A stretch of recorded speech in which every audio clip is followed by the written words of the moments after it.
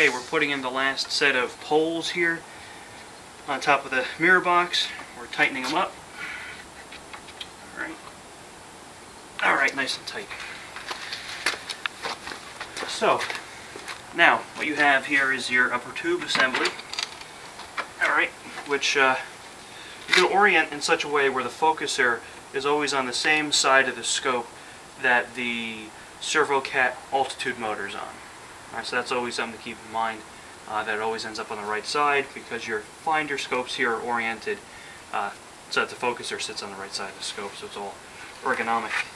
And uh, what you can do with the shroud, okay, just keep it kind of bunched up over the top.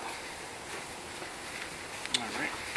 So you have wrapped around the base of the upper tube, and then any excess you just wrap over top. Alright, pick it up.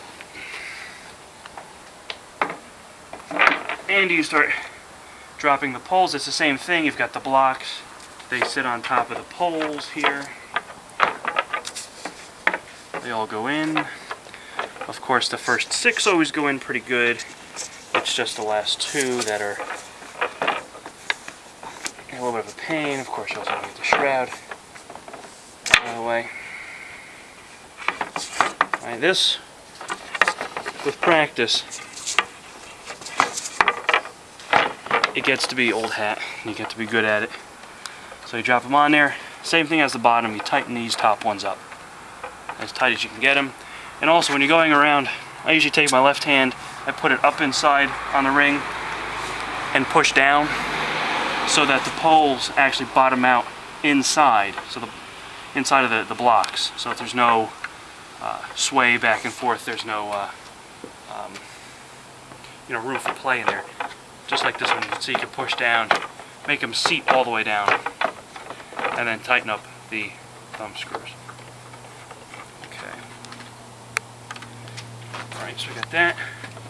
We tighten these guys down.